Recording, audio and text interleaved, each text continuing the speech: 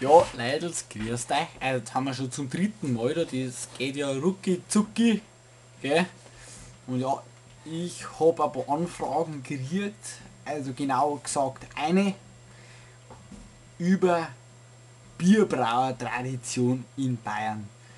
Also gell, man muss ja schon sagen, Bier wird in Bayern schon seit Jahrhunderten um nicht zu sagen Jahrtausenden gebraut.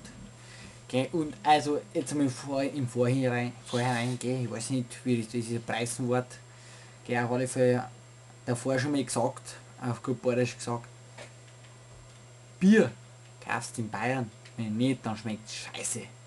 Ist einfach so. Gell.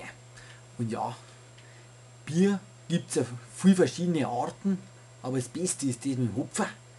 Hey, dann ist es einfach schön herb. Gell. Und auch das süße Zeug, was die Amis da saufen oder das preisen wir, kannst du nicht brauchen. Da sind sogar die Österreicher sind noch besser. Ja, man glaubt es nicht, aber die Österreicher sind besser. Ja. Und ja, also so genau das Bier braut wird, weiß ich jetzt zwar nicht, aber ich weiß, dass Topfen reingeschmissen werden und dann wird es gekocht.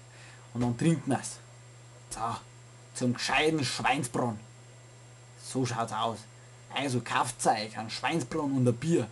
Jetzt vergesst einmal nicht das. Jetzt noch ein bisschen subscribes und so und Rates und Comments macht, gell, weil so kann es doch nicht weitergehen, sind ja Zustände. Also Leidels, wir sehen uns, für euch. Habt einen schönen Abend.